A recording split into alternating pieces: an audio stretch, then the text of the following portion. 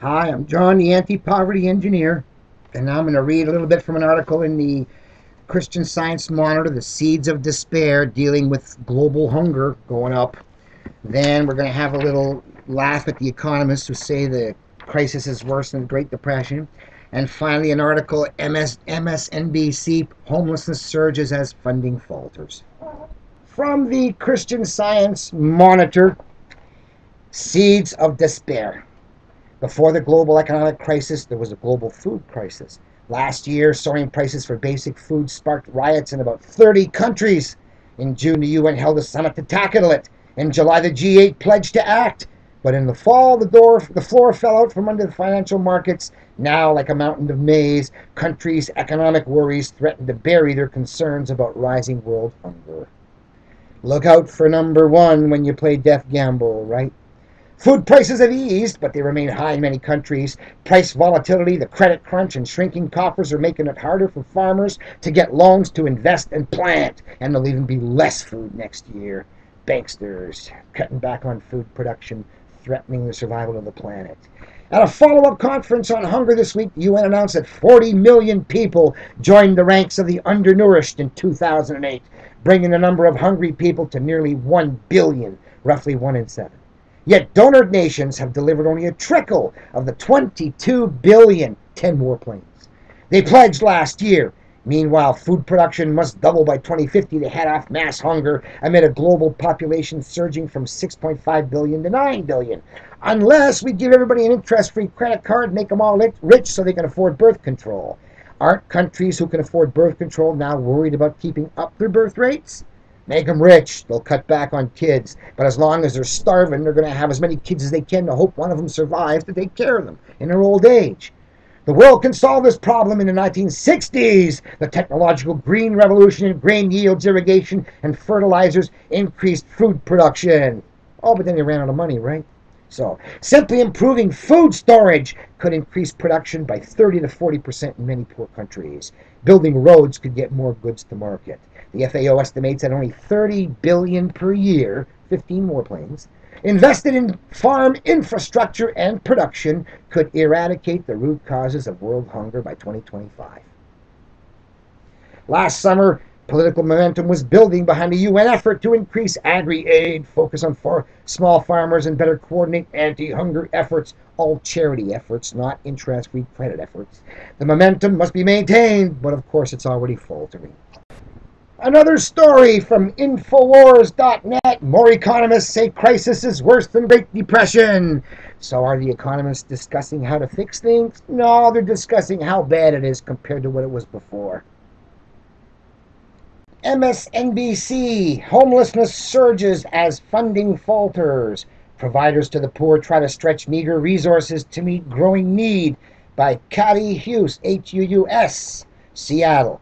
As snowstorms blew into this northwest city and the economy iced over in December, the occupants of a shelter nestled among industrial buildings on the north side prayed for divine intervention. Hey, doesn't have to be divine. We were hoping for the Christmas miracle, said Glen Dennis, 41, who was working his way through a residential drug treatment program at the City Team Ministries shelter.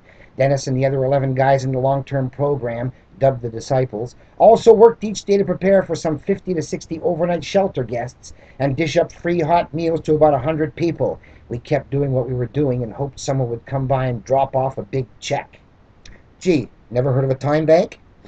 But the check did not come, even after a coalition of other shelters, nonprofits, and local churches tried to pull together a rescue package to keep the shelter open looking for federal cash, the only kind of cash they know about, right?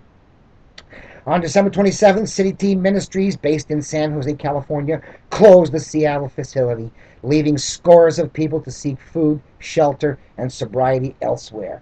For Dennis, who'd been free of crack cocaine for nearly 11 months, the upheaval led to another painful relapse out on the streets. It's a real loss, says Herb uh, Pfifner, executive director of the Union Gospel Mission Shelter in downtown Seattle. We're all scrambling to try to handle the growth of homelessness because of the economic situation, and then the closing of another mission adds more pressure. I know, eh? In a world with money disappearing like that, You're going to sit idle waiting for more money. Nothing you can do, I suppose, eh? Unless you heard about community currencies, and I guess you haven't. It's a real loss, he said. So, city team closure is a piece of the expanding problem of homelessness across the nation. Shelters and related services for the homeless are facing funding shortfalls as the downturn takes its toll on state budgets and corporate donations. And while individual donors in many cases are keeping up gifts, or even digging a little deeper for charities that help with urgent needs like food and shelter, the service providers say they're faced with a rapidly growing demand from people losing jobs and homes in the economic crisis. Remember, in the last Great Depression, they put all those people out of work and they've just reported 7 million people died. So now, with a larger amount of people, if they do it again, you're going to lose more than 7 million people. You should. Less funding, more demand. No kidding. Uh, a downturn in overall funding in this case is accompanied by a surge in demand. So a homeless shelter, food pantry, or job training program is going to feel it first, says Chuck Bean, Executive Director of Nonprofit Roundtable of Greater Washington in the District of Columbia. Even if they have 100% of their budget compared to last year, they now see a 50% surge in demand. Then they get into the tough decisions. Do you thin the soup or shorten the line? Just like in the last depression, eh? poor people who just don't have any community currencies. Even as census takers fan out in cities across the country this week in an attempt to count homeless populations, hey, counting them, well, doing something. Advocates and experts point to a bevy of evidence that homelessness is rising and will continue to, most notably among families with children. What can I say? They don't know about community currencies. Shelters across the country report that more people are seeking emergency shelter and more are being turned away. In a report published in December, 330 school districts identified the same number or more homeless students in the first few months of the school year than I identified in the entire previous year. Meantime, demand is sharply up at soup kitchens, an indication of deepening hardship and potential homelessness. Everything we're seeing is indicating an increase, said Laurel Weir, Policy Director at the National Law Center on Homelessness and Poverty. Geez, and they never ever searched for anti-poverty system and they never actually came up with community currencies, you know. It's sad to think people are possibly getting paid money for not finding the answer when it's out there and they just aren't bright enough to have found it. And homelessness tends to lag the economy, so we're probably seeing the tip of the iceberg here. In the foreclosure crisis, the people being displaced from homes won't likely be on the street immediately, explains Michael Stoops, director of the National Coalition for the Homeless. Yeah, another guy didn't hear about community currencies, I know. They're so slow in the States, eh? The people who have lost homes or tenants in homes that were foreclosed have downsized. And if that doesn't work, they'll move in with family or friends, says Stoops. After a while, they'll move into their RV in a state campground. Next step is a car. And the worst nightmare for a working middle class person or even a wealthy person who's never experienced homelessness is knocking on a shelter door. Services teeter on brink.